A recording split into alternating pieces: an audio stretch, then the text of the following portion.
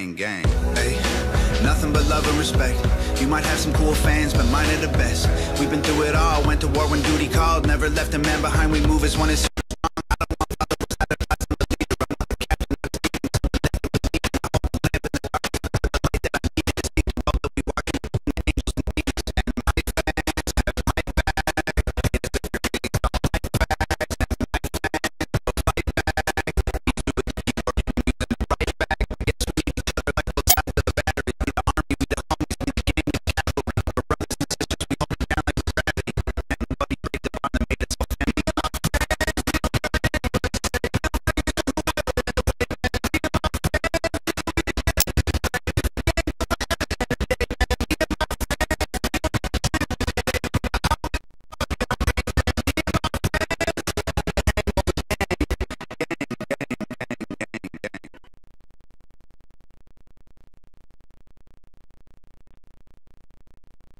Oklahoma weather can dish out some of the worst punishment in the world. Hi everyone, I'm meteorologist Aaron Tuttle.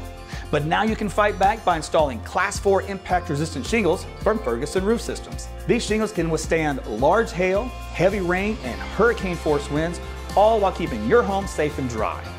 And the best part, this upgrade is completely free for many homeowners. So call today to start reaping the benefits these Class 4 shingles bring, including a discount on home insurance. Only at FergusonRoofSystems.com.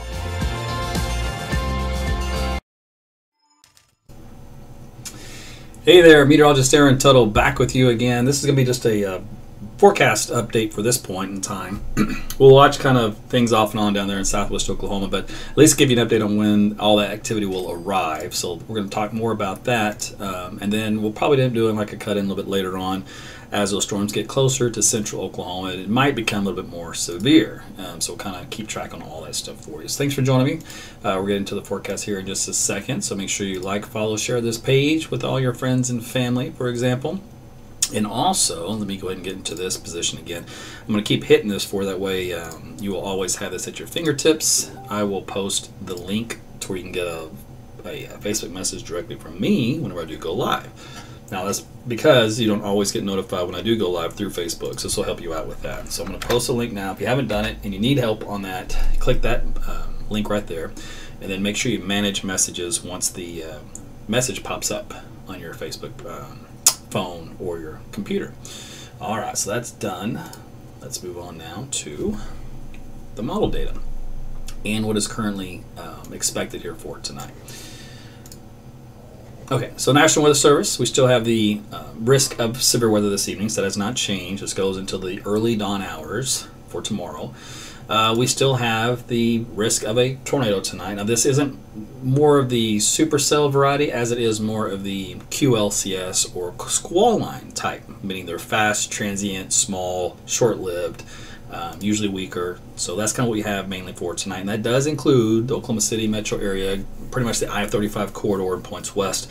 Once it gets east from that, I think things will, will improve a little bit. Timing, of course, is already occurring out in western Oklahoma this uh, evening, but then the next round is already moving in from the southwest from Texas, and that'll be coming on into central Oklahoma as we head closer to the midnight hour.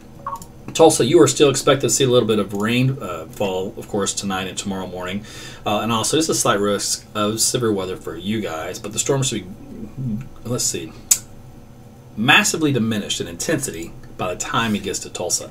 Here's a look at your timeline for tomorrow. So, midnight, um, I, say, I say tomorrow, it'll feel like tomorrow by the time it moves through, but it'll be from midnight to about 3 o'clock in the morning up into Tulsa, then from 3 a.m. to 6 a.m. from Tulsa points to the east uh, then from 6 to 9 a.m. once it gets into Arkansas. And you do have more storms tomorrow afternoon and evening as well across far eastern Oklahoma and Arkansas. And some of those might be severe, so keep that in mind. Here's a look at how the um, surface map looks. We've had return, return of moisture into the 60s for dew point values here across Oklahoma. So the moisture is there, but it's a little bit more um, shallower versus very deep. Um, but it's there, and it will continue to pile in, so that will allow the severe weather threat to continue. Storms have erupted across the nation here in the midsection all the way down through Nebraska, Kansas, and into northwestern Texas. And it's this little batch right here that's going to give us some headaches here for the remainder of tonight. This activity northwest Oklahoma will be making its way into Kansas for the rest of tonight, giving those folks a headache with basically a lot of lightning, some um, brief heavy rainfall along with some hail and some damaging wind potential. Okay, so let's get into the data as far as time of arrival and bring you up to speed there. Okay, so uh, this model just came in, so I actually hadn't even looked at it myself, uh, but let's see what it does. See if it even forecasted the uh, events so far for the evening. Sometimes they don't even do that very well. But it does have those storms up in northwest Oklahoma at 8 o'clock. What did it do with them? Oh, it's already out to lunch. Silly model. Tricks are for kids.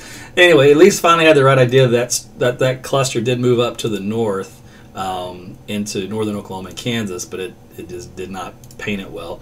Uh, what it did, though, let me back up here, is at least get this stuff in southwest Oklahoma. So we're going to have to ignore ignore this. This isn't happening. This isn't reality. This is reality here. Um, probably because the cap was stronger than it had initiated, and so the storms didn't really go too well. Uh, these are going down here though, and they should move in this direction. So this is at 11 o'clock. Let's go to midnight. And this is actually a little slow, so I'm going to have to just completely throw this model out now and think about it for timing. So let me see if I like the overall look, which is a squall line that moves through. I like that look through eastern Oklahoma with weakening as it gets closer to Tulsa and the rest of the body of the state. And then some more stuff there Tuesday, uh, excuse me, Wednesday afternoon. There's 2 o'clock, 3 o'clock, 4 o'clock. So you guys in eastern Oklahoma get a couple of rounds of showers and storms out of this. And we'll get some wraparound for Wednesday evening. There's 8 o'clock um, so it's a little bit of rainfall moving through Oklahoma City Wednesday evening on into Thursday morning for northeastern and eastern Oklahoma. So that's kind of the progress of how the timeline of the rain will look in general. Now, as far as a more accurate representation of what's happening tonight, we'll go to the high res model, which you know is the best of the best. So we'll see how good it does, and then we'll get the timeline here better for you. Okay, so it's got the cluster up to the north, the cluster up to the south. Hey, at least it knows what's happening. small victory, right? All right, so let's move this with time. Uh, whoa, get back over here. Uh, all right, so that moves up into Kansas. We talked about. There's that stuff in southwest Oklahoma, 10 o'clock tonight. That quickly expands northward and eastward. So there's 11 o'clock. So just approaching Lawton, probably back out to Clinton and Weatherford. And then as we head into the midnight hour, that's perching on the west side of Oklahoma City. So this timing I do like, this configuration I like. And if you do notice, you get kind of this bow structure element. Well, that's typically a damaging wind type um, scenario with pockets of damaging wind within that little bow echo region. Also, though, we do have these little indention areas here. So another indication will probably deal with some of these little QLCS type spin ups that'll kind of sneak in there um, on the leading edge for a couple of tornado type deals. And then there's Oklahoma City at 2 o'clock in the morning, so just heavy rain, showers, and storms. So probably wake you up. And there's 3 o'clock in the morning, there's 4. You notice it's been weakening here with time as it heads into Tulsa and then points southward. So it's still a pretty good squall line as far as rainfall goes and probably a little bit of lightning. But uh, as far as the severity of it, it's, it's greatly diminished. There's 10 o'clock in the morning, it's still all in eastern Oklahoma. So it's a slow mover overnight. Uh, into eastern Oklahoma, and that will continue into the afternoon with that secondary round as we talked about developing here by 2 o'clock. Uh, and you could get a little bit of severe weather in far eastern and southeast Oklahoma tomorrow afternoon, midday, uh, with some of these storms, just because it shears a little better. But other than that, the instability is a lot lower because of the morning round. So, but needless to say, that's kind of how the things ought to plan out. So that's how you should time thing time things here for tonight. Uh, I could get I'm trying to figure out what's important to show you. Let's just show you the forecast, though, extended as far as temperatures are concerned. We're looking at 60s over the next uh, few days and then some 50s here later for November 2nd, 3rd, and 4th. And again, as we talked about, these numbers have been going up and down in the extended outlook because this model data is not quite certain. But we do see some 30s sneaking in there, and occasionally the model's been throwing in some snow across the state. So that's kind of how the extended um, atmosphere looks across Oklahoma. In general, this is just for Oklahoma City. Uh, as far as the rainfall or storms are concerned out there right now, just a quick look shows these elements continue down here in the southwest Oklahoma from Mangum to Altus to Frederick to Vernon. So some good strong thunderstorms here, pockets of some wind and some hail. If you notice this little fine blue line right here that's already come out, this is an outflow boundary, which means this line's already weakened. A lot of its structure is already pressed out ahead of it. So this line now has to catch back up with the line, with the outflow boundary, to regain its magnitude of severity. Um, of severity. So that's the reason why some of the winds and some of the um, nasty. So the nasty has been in Texas, but is not occurring currently in Oklahoma. There will be pockets of some wind and, and hail though with this line as it materializes and develops. And I'm looking um, for little QLCS type uh, spin ups along the leading edge and I don't see anything right now, but this is where we'd be watching just for something to happen. But otherwise, it's nothing too serious. It's a, a, standard, typical thunderstorm event here for southwest Oklahoma, and that will continue to expand northward in this blue box, which is a severe thunderstorm watch, which just comes in to the southwest side of Oklahoma City metropolitan area. Doesn't include Oklahoma City, but at least it kind of gets into the ballpark of where we are. And again, up here in northwest Oklahoma, radar map there shows same kind of idea. These storms are kind of rolling on out into Kansas. The strongest part of the storm is around Waynoka, and it's got some hail with that around the west side of town, up to about an inch in diameter. Uh, wind speeds on this, has it changed any since the last time I take a look? Uh, still got pockets here of winds that could be in excess of 70 miles per hour right along 281 and the county line south of Waynoka. Uh, but that'll continue to work its way toward Avard and Alva and Burlington as it works its way into Kansas. So that is the latest look in that aspect. Rainfall amounts, I did not discuss that. We can go ahead and do that as well. So let me go back to this chart here and show you what the cumulated rainfall amounts will be. And we're looking at about an inch or so in some of these heavier thunderstorms as they roll through from the Lawton area. That's up to two inches there. Tulsa is also close to two inches because they slow down a little bit here in eastern Oklahoma, and you get the wraparound for more rain tomorrow. So you're going to have higher totals there anyway. Uh, some good rain in Kansas, and not, of course, not a whole lot out here in western Oklahoma, especially this little dry slotted area here where the storms didn't manage to, you know, cover everybody uh, in that region. Okay, um, what about pockets of wind? Uh, we can take a look, see if anything of that has changed in the data, Lewis data. All right, so we do have these little brown areas. Let's go to 10 o'clock. There's 11 o'clock. It just shows what potential is there in the atmosphere, so up around 70 miles per hour. And we've seen that already, so that kind of jives with some of what the Doppler radar has estimated earlier this evening um, 70 to 77. And these are, of course, it won't know the exact spot. It just knows there will be pockets of some damaging wind. But if you notice at 2 o'clock in the morning, this was moved into east of the metro um, and going through the metro, there really wasn't as strong of a signal at that point. There's 1 o'clock in the morning, there's midnight. So the storms really lose their punch after midnight once they get to the I 35 corridor. If you mentioned our prior forecast discussions, we talked about the theta E axis and how they'd be working their way out of that favored zone. And the winds actually probably pick up tomorrow, stronger intensity, just in general terms. So there's uh, Wednesday at 2 o'clock in the afternoon, there's wind speeds all over the place of 40 plus miles per hour sustained, um, more than likely in uh, parts of western Oklahoma, the panhandles and stuff. So it'll be a little windy behind this system as everything kind of shifts on off to the north and east.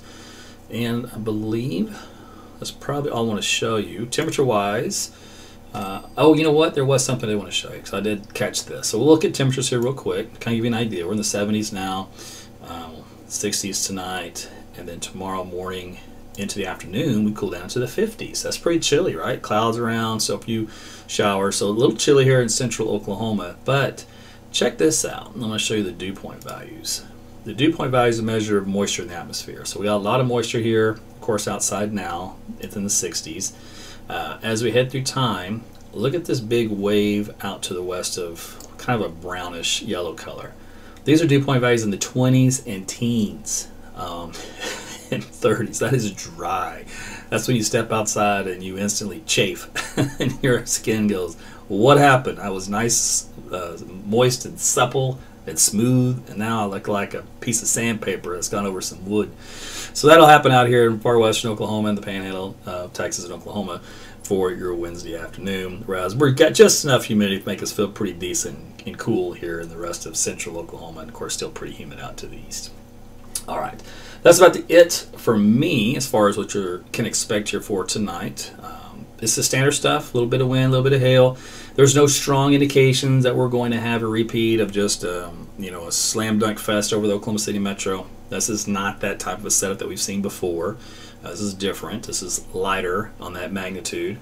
Doesn't mean that something freaky can't happen, but as far as the data is concerned, it's not a similar setup as last time.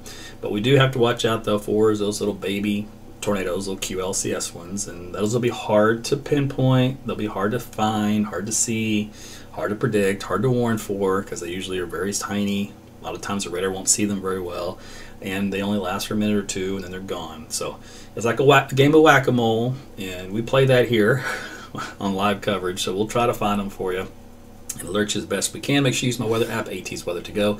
It'll pick up some of those as well, as long as the radar can indicate good coverage for them uh, and give you uh, plenty of time to seek shelter as best as you can. Uh, and overnight, you know, gonna need any minute you can because most of you probably asleep or pretty groggy by the time these storms do roll in around midnight or so uh, in central Oklahoma.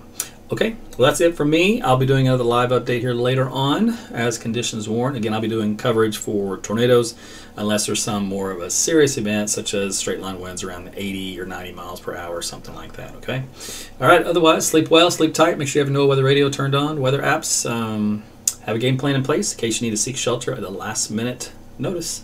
And uh, we'll talk with you soon. Take care.